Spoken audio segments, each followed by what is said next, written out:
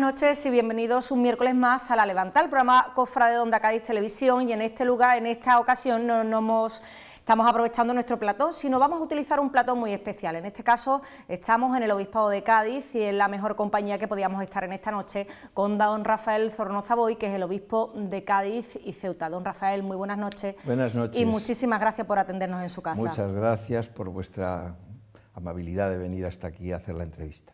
Yo creo que hemos cambiado el plato Onda Cádiz por uno, yo creo que, merece la pena por la historia que tiene y por el significado, ¿no? Sin ninguna duda, para mí esto es no mi hogar porque no vivo aquí exactamente, no duermo aquí, pero paso muchas horas.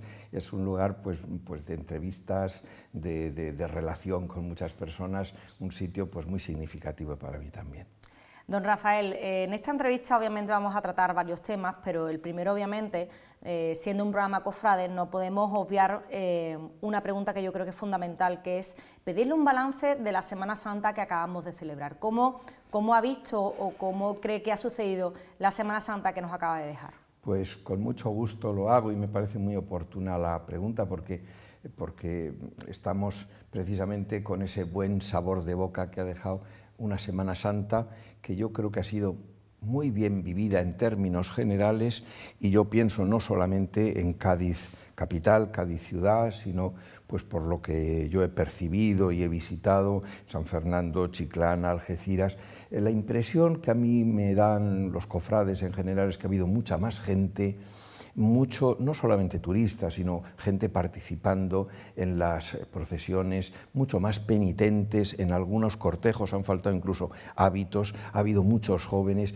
Luego quitando el, el problema siempre penoso, ¿verdad?, de las inclemencias del tiempo, que ha habido alguno que no ha podido salir, pero en fin, con eso hay que contar. A pesar de todo, pues han sido, a mí me parece una Semana Santa muy bien preparada, con mucha altura, eh, en Cádiz estaba la preocupación eterna de que si el recorrido es el mejor o no, pero parece que esto se va consolidando. En general, yo creo que ha sido, no solamente desde el punto de vista organizativo, sino en la vivencia espiritual, ha sido una Semana Santa muy rica. Por lo que respecta a las procesiones, evidentemente yo no puedo dejar de hablar de la celebración de los misterios en los oficios.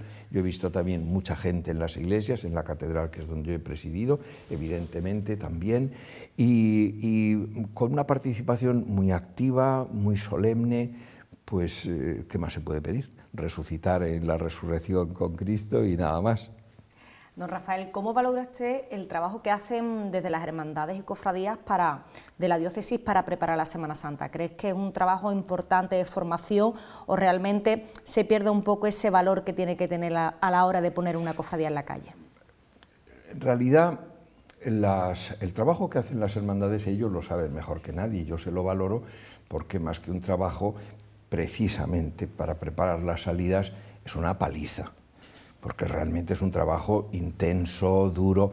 Es verdad que lo tienen, saben muy bien su oficio y saben los palos que tienen que tocar y cuentan con la gente que tienen que contar, pero supone cada año un esfuerzo, una puesta en valor y después una cosa que, que, dicen mucho los hermanos cofrades y que tienen toda la razón, la cofradía no es la salida, es todo el año hay una hermandad, hay un equipo y trabaja todo el año. Yo creo que eso también se manifiesta después en ese momento puntual de la salida o de las salidas en la Semana Santa y yo creo que eso es pues también muy importante. Creo que hacen un trabajo que hay que valorarlo desde el punto de vista de la celebración y del culto, pero también desde el punto de vista de la evangelización. Yo me reúno con mucha frecuencia con ellos, con el Consejo Local de Cádiz cada dos por tres. Además, hemos terminado una reunión y ya me están pidiendo otra. Me dicen siempre que les invita un cafelito en el seminario y la verdad es que a mí me encanta porque hablamos de todo y, nos ayuda pues, a, a compartir problemas que no solamente son de cofradías, sino un poco las preocupaciones de todos los cristianos. Me he reunido también con el Consejo Local de San Fernando, con los vocales de juventud antes de la, eh, jornada diocesana de juventud que fue en San Fernando. Es decir, yo tengo un trato pues, muy continuo y muy habitual, no digamos nada con el secretariado.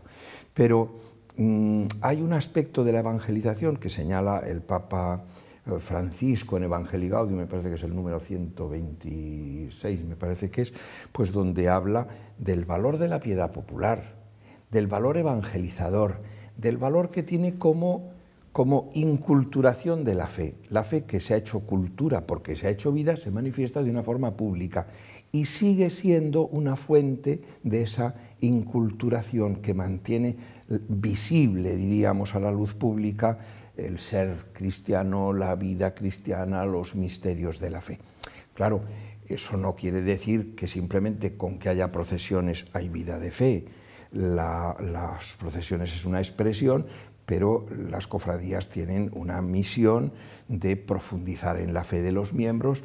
Hoy los miembros, sobre todo pienso en los jóvenes, a veces llegan a las cofradías pues como están, un poco despistados, o, pero, pero bueno, es la puerta de entrada en la iglesia, donde ellos, ese es nuestro reto, donde puedan encontrarse con el Señor, vivir cristianamente, madurar en la fe y vivir los sacramentos y, por supuesto, ser apóstoles y evangelizadores.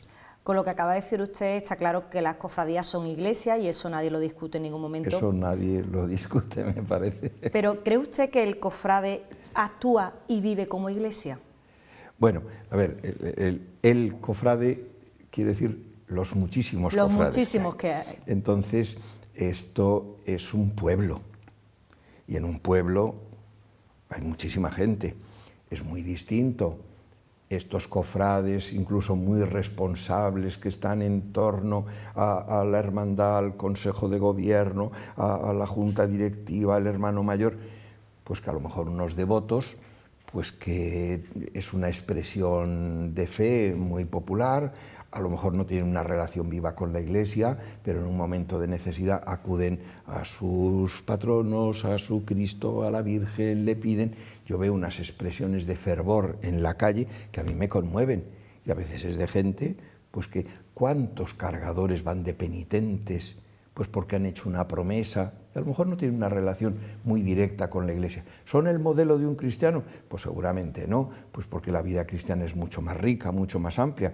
Pero bueno, ¿quién se pone de modelo del cristiano? Mm, es decir, eso es muy arriesgado, ¿verdad? Sabemos lo que es ser cristiano, lo que es el camino de la santidad, pero esto es un pueblo donde hay de todo. Yo creo que la misión es que los cristianos más conscientes que viven como dirigiendo, liderando un poco pues, eh, este, estas sociedades que se reúnen para vivir su culto, para expresar su devoción, para vivir la caridad, para compartir los bienes, para ser hermandad, deben arrastrar a una mejor vida cristiana al que esté más atrás y exigirse más el que tenga más conciencia. Habla usted antes de la juventud y además como una parte muy activa de las cofradías. ¿Qué papel creo que juega ahora mismo la juventud, tanto en las cofradías como en la iglesia? Eh, yo quiero aprovechar, iba a decir hacer propaganda, no lo necesita, lo tengo aquí el Christus Vivit, que acaba de publicar el Santo Padre, eh, que es la exhortación apostólica, fruto del sínodo de Roma, que ha tratado sobre los jóvenes y para los jóvenes, con una gran representación de jóvenes. Yo lo recomiendo que lo lea todo el mundo porque es un escrito eh, eh, que, se lee, que se lee con entusiasmo, que te engancha, eh, es clarísimo. Me admira porque el Santo Padre, hablando de los jóvenes y después de escuchar tantas propuestas como ha oído, tantos problemas, tantas dificultades, hace una síntesis magistral, pone a Cristo en el centro, es decir, para hablar de los jóvenes, pone el ejemplo de la verdadera juventud, que es Cristo, la iglesia joven, que debe hacerse joven y donde los jóvenes van a encontrar sus sitios y son fieles a sí mismos. Quiero decir, tenemos que sentarnos, yo ya he convocado una reunión, para preparar el sínodo hicimos otra que fue muy satisfactoria, con responsables y vocales de juventud, de cofradías, de movimientos, de parroquias. Pues primero, para recibirlo nosotros, hacer nuestra reflexión y ver de qué forma podemos llevarlo a nuestra pastoral. Los jóvenes, dice el Santo Padre, no son el futuro de la Iglesia ni de la sociedad, son el ahora. El ahora de la sociedad, el ahora de la Iglesia. Y siendo pues un, un, grupo, pues por definición, muy en búsqueda, en maduración, sin embargo tienen una potencialidad tremenda y son capaces ellos mismos de ser ya apóstoles y líderes de los mismos jóvenes y pueden entusiasmarse de hecho muchos están muy alejados de Dios, pero otros tienen una experiencia de Dios, una experiencia de iglesia. Luego, Dios conecta muy bien con los mejores sentimientos de los hombres los ideales de los jóvenes y sobre todo el sentido de la solidaridad, de la búsqueda de la justicia, de la ayuda a los otros. Hay unas sensibilidades que son plenamente evangélicas y que conectan perfectamente con la propuesta que Dios les hace y con Jesucristo. Ahí tenemos que entrar, pues porque lo necesitan ellos y lo necesita el mundo.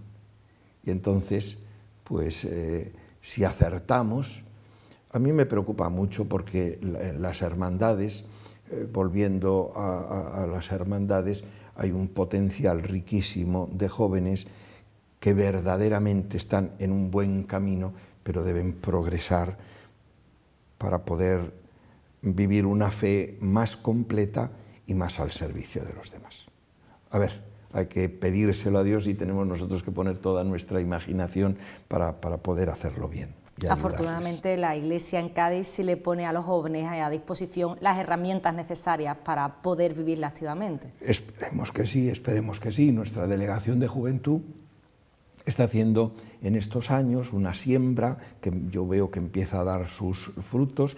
Eh, pues hemos comenzado una asociación juvenil que está ya en cerca de 20 parroquias, la asociación Kerkus, donde los adolescentes y jóvenes que van entrando en procesos de iniciación cristiana, primera comunión, confirmación, pues no se limitan, diríamos, a cumplir con esos requisitos para recibir un sacramento y desaparecer, sino que hagan hogar dentro de la iglesia y permanezcan educándose, sirviendo, es decir, haciendo comunidad.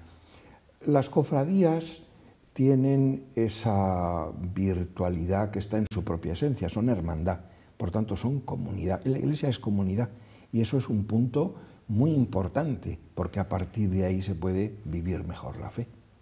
Hemos hablado de juventud, pero hay una, pata muy importante que es la familia y en este caso la, Iglesia de Cádiz, la Diócesis de Cádiz, pues está trabajando mucho por la familia, por hacerla presente y de hecho en julio de este año pues eh, Cádiz tiene ese encuentro de familias tan importante que yo creo que va a poner en valor precisamente pues la, necesidad que hay de compartir y de vivir la iglesia, ¿no? Por, este año ese encuentro ha sido pues una una decisión, yo creo que muy acertada por parte de la Delegación de Familia, porque eh, ya eh, don Antonio Dorado, que en paz descanse, comenzó la Semana de la Familia, que fue pionera en España, tuvo un gran éxito.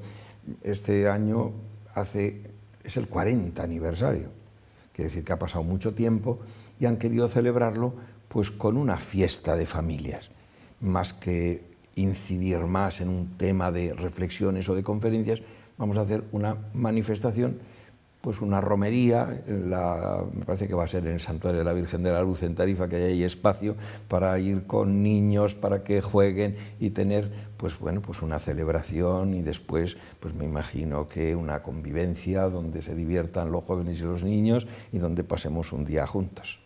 ¿Qué supone para usted en este caso la familia dentro de la Iglesia? ¿Qué, qué valor le da? Porque usted desde que ha llegado además lo ha potenciado mucho más.